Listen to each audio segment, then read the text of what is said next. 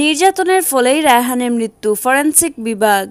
সিলেটের magazine YouTube চ্যানেলের সাথে থাকার জন্য আপনাদের আমন্ত্রণ জানাচ্ছি।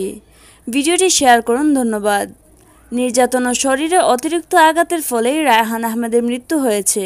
এমনটি জানিয়েছেন Sylhet M A G Osmani medical college হাসপাতালের ফরেন্সিক বিভাগের প্রধান ডাক্তার শামসুল আলম। বৃহস্পতিবার রায়হানের দ্বিতীয় ময়নাতদন্ত শেষে তিনি সাংবাদিকদের এ তথ্য জানান। ডাক্তার শামসুল ইসলাম বলেন, রায়হানের শরীরে অনেকগুলো আঘাতের চিহ্ন পাওয়া গেছে। তাকে প্রচণ্ড মারধর করা হয়েছে। এসব কারণে তার মৃত্যু হওয়ার আশঙ্কা বেশি। তবে ময়নাতদন্তের রিপোর্ট পাওয়ার পরে এ ব্যাপারে বিস্তারিত বলা যাবে।